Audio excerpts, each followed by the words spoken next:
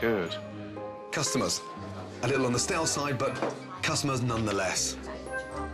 What the hell kind of puny appetizer is that? What is that, Michelle? This is a canapé. Canapé. Yes. Strawberries aren't even ripe then.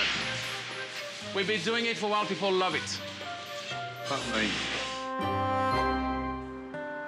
Did you like decide? I will take the sweet potato bisque. Okay, I'll get those for you. Thank you. Can I have a potato bisque, please? Yeah, it'll take a couple minutes. We need to cook it.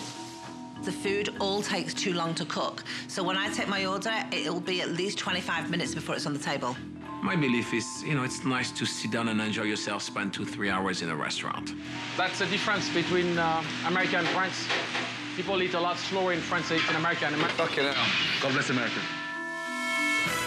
As customers continue to wait, Gordon's discovered Michelle's overcomplicated dishes are taking too long to prepare.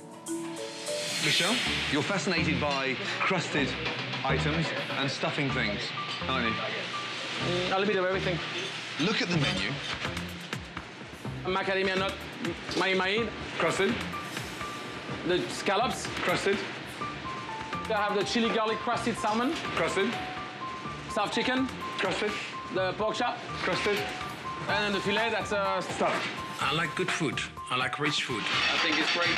It's a little spicy, but not too spicy. It's a matter of opinion. You know, Nobody likes everything everybody does.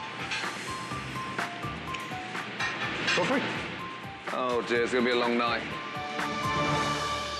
God, this guy is fucking unbelievable. You know, there's one thing about being bad, that's solvable, but being in complete denial throughout, it's extraordinary. I've never met such a fucking hard-ass, stubborn bullshitter in all my life.